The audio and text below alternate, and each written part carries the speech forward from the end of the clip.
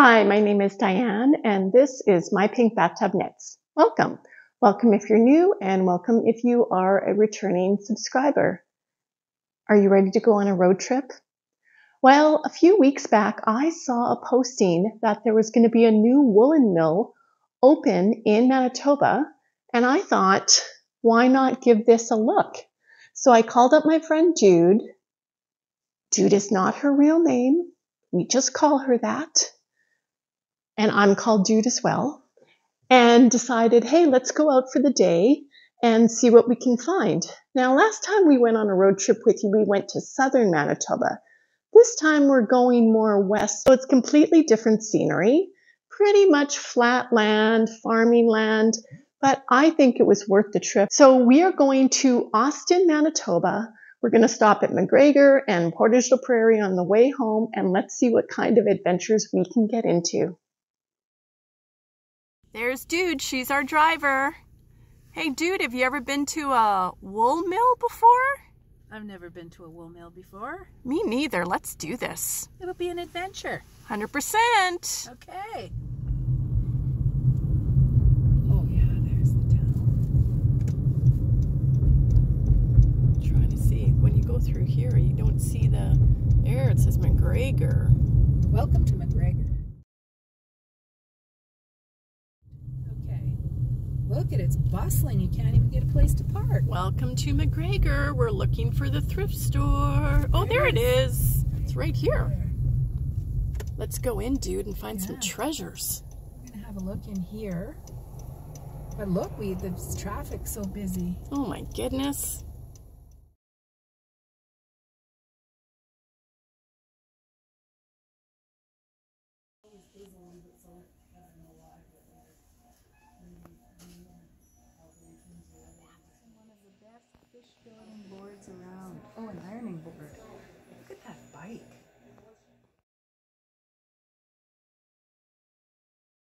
Perfect.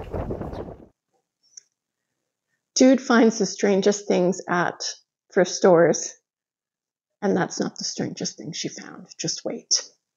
But here is my find from the thrift store. These clover needles, circular needles, five millimeter, 36 inch in length. They didn't have a price on them, so I went up to the table. They haven't even been opened. I said, Can you tell me how much you would like for these? She took a look at it and said to me, Would 25 cents be okay? A quarter. A quarter. This is how much they sell for online. Start the car. Well, after we went to the thrift store, we saw a library just across the way and we thought, hey, we're librarians. Let's go and check out what's in the library. And we had a little bathroom break while we were there too. It was a charming little small town library. Um, I chatted up the librarians that were working and told them that we were from the Winnipeg area and that we were in the same field. And the reason why we were in the area was because we were going to go to the Mills opening. And they piped up, Well, Linda works here. And I thought, Well, that's nice, but who's Linda? Well, Linda is the owner of the mill.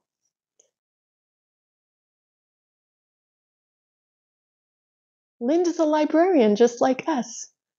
Linda likes to knit just like me. And Linda and Brian are the owners of the mill. So we went there in search of Linda. So here's some video of when we first arrived at the mill. Um, it was very busy in there. It was very crowded. So I tried to do my best. Why don't you take a look and see what you think?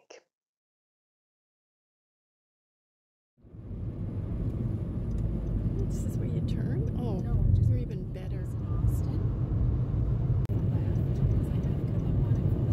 Lots of farm stuff out here. Yeah. We're not lost yet, Not yet. but we might get lost. Stay tuned. Austin, Manitoba. Not Texas, Manitoba. Phil's Corner Store. Yep. Check. Oh, Division Street. That's it. That's Ooh, it. Division oh my Street. gosh. Oh my gosh, the crowds. Look at all the cars. But they're right in town. Oh, it's right here.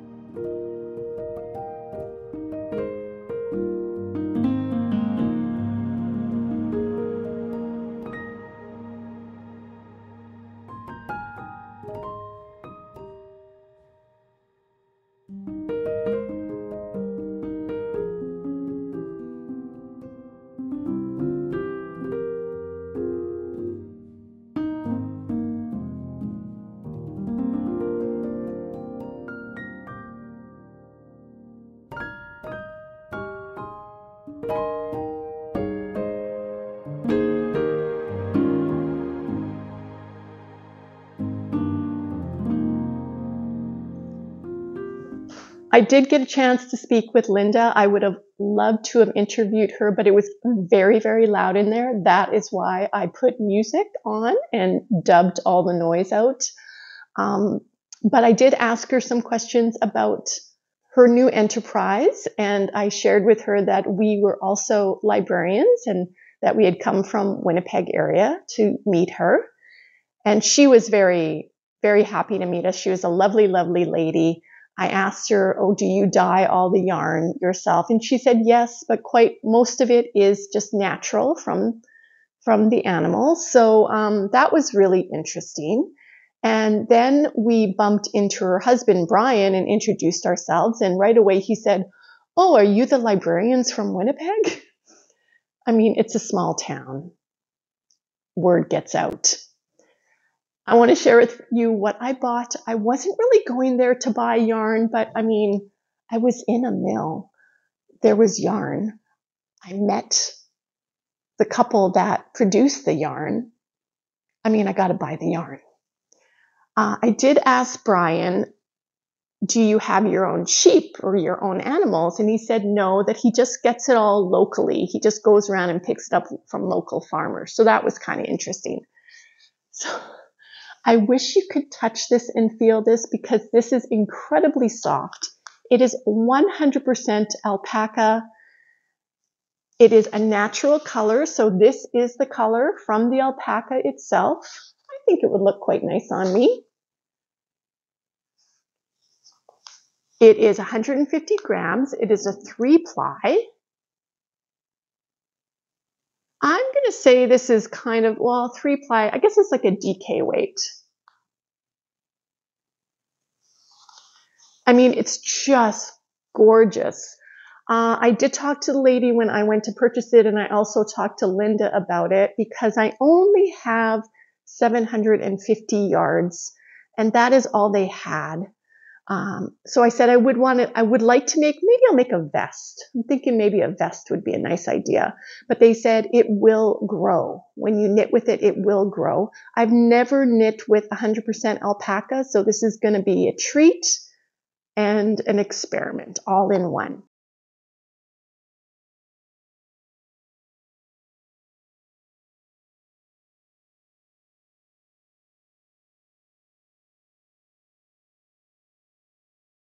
And there are draws, so I am hoping with my fingers crossed that either myself or Dude wins uh, a gift certificate.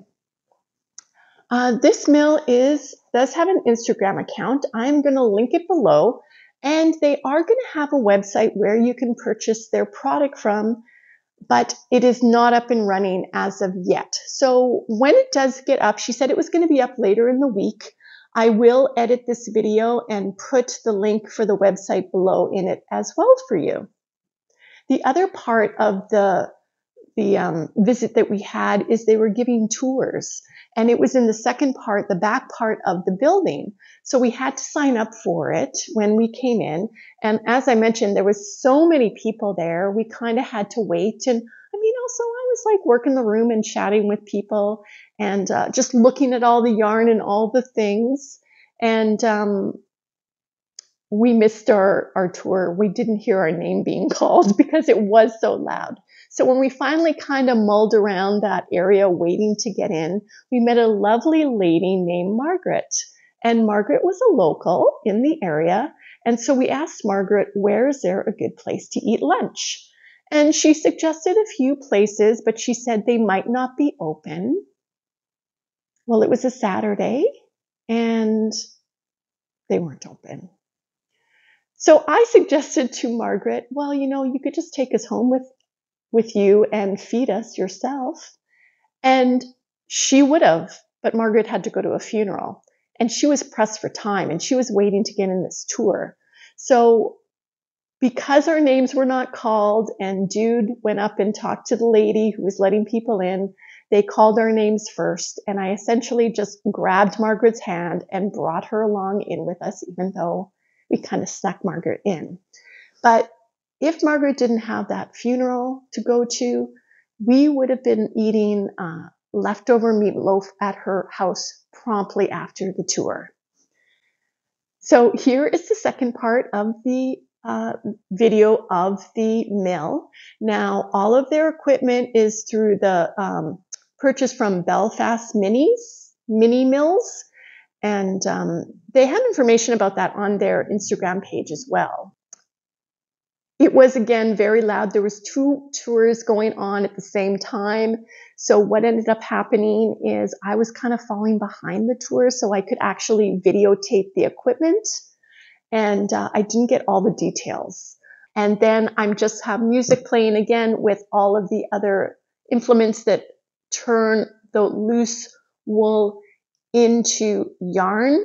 There's a carding machine that takes all of the rough, uh, thicker hairs out. Then they uh, turn it into these tubes that end up getting stretched out. And um, I'm not explaining this very well because I wasn't paying attention because I was a little bit farther behind taking video once people moved out of the way. So here is the video of um, the rest of the tour of the Austin Woollen Mills, and I hope you enjoy it. This is the washer, 181 degrees to wash the raw wool. That looks like this.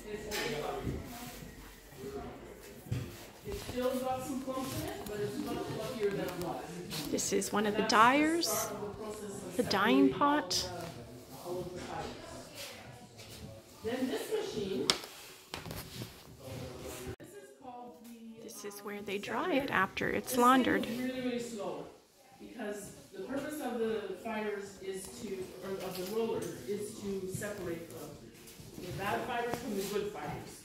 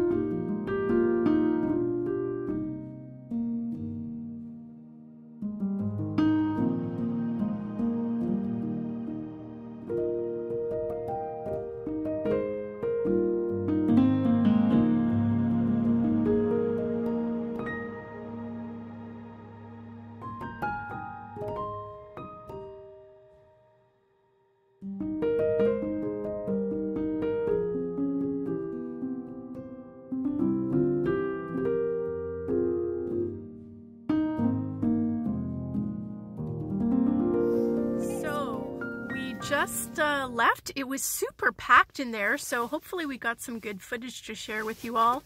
Uh, I met some really cool people, including a lady who owns three alpacas. And she is interested in selling, uh, selling their wool to this uh, new mill. So it's very exciting. What did you think, dude? I thought it was super exciting and interesting. I've never seen that process before.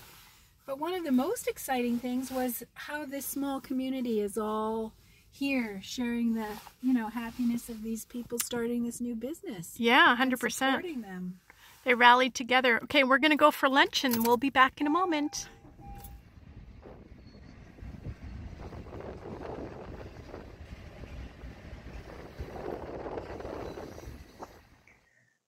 So Margaret was correct. There was indeed nowhere for us to eat in Austin, Manitoba on a Saturday. So we made our way back to MacGregor and uh, wanted to see if there was something there. Uh, of course, we kind of saw a squirrel, also known as a thrift store, and we stopped in there first, and then we made our way to a charming little place called the Bison General. Um, and I'm so glad we found it because it was a really lovely little kind of bistro cafe place that sold local products, and the owner was really nice. Um, it was a nice little surprise in the middle of a very small town. And after we ate, we decided to go back through Portage la Prairie, which is actually my father's hometown. He grew up in that area. It is big farming community as well. And uh, we went to a couple more thrift stores, which I will show you my finds. And we discovered a monument that I did not know existed in Portage.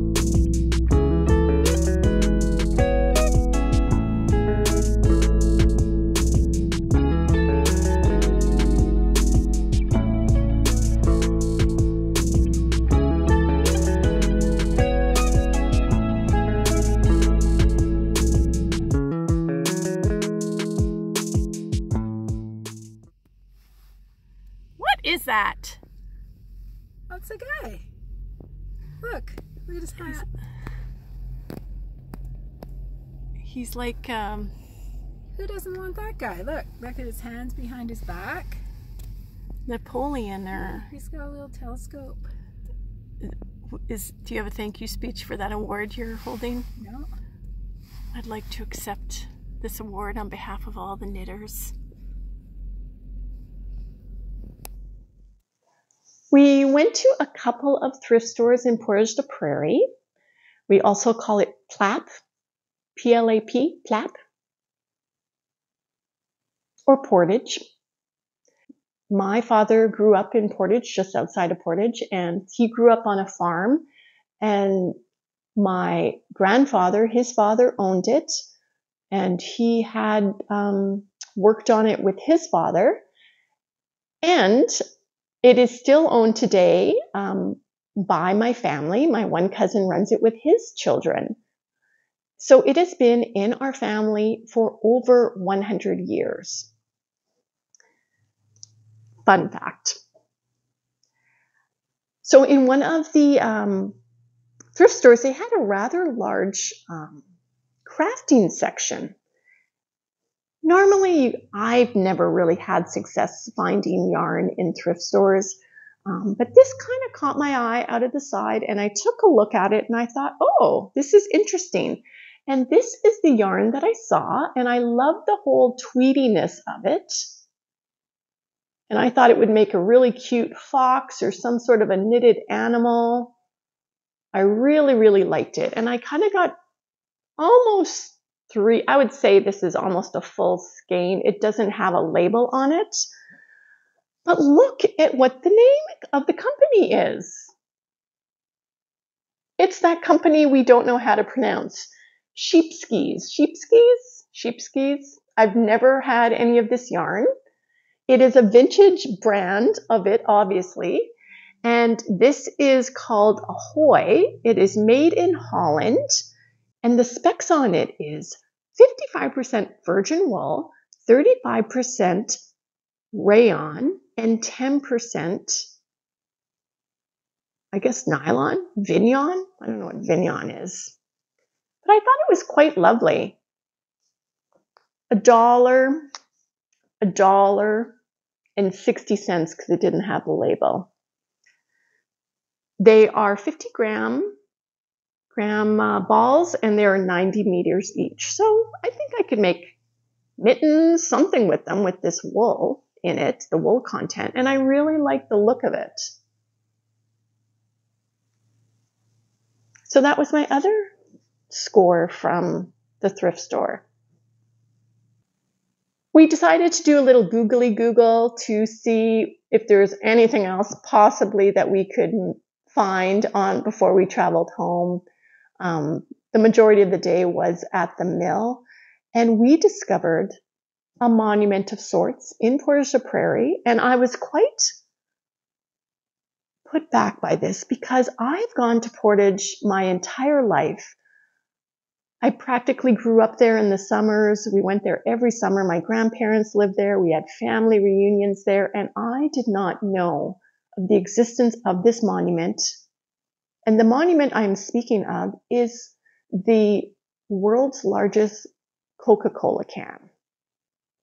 Yes, it's a thing. I witnessed it. And here you go. Enjoy.